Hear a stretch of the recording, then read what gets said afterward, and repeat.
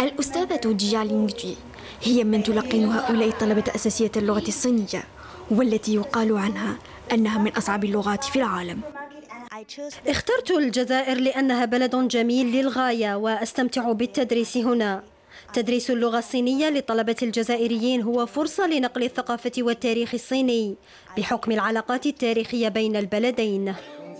الجامعة الجزائرية منفتحة على كل العلوم وعلى مختلف الآداب واللغات فكان لزاما أن يكون للغة الصينية نصيب في الجامعة الجزائرية.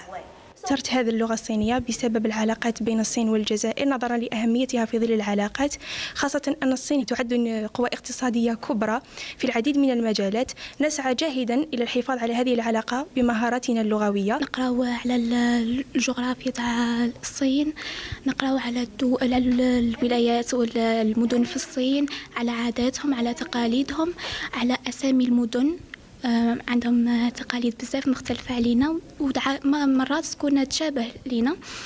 نقراو نتعلموا كلمات جدد وجمل جدد؟ هذه التجربة تاعنا الأولى الدفعة الأولى. عندنا 40 طالب عندنا خمسة أساتذة ثلاثة من الصين وزوج من الجزائر. هي اتفاقيات وقعت مع السفارة الصينية وجامعة نورث ويست الصينية والمدرسة العليا للأساتذة. نص الاتفاقية على عدة بنود من بينها بعث أساتذة آه، صينيين آه، للجامعة للكلية.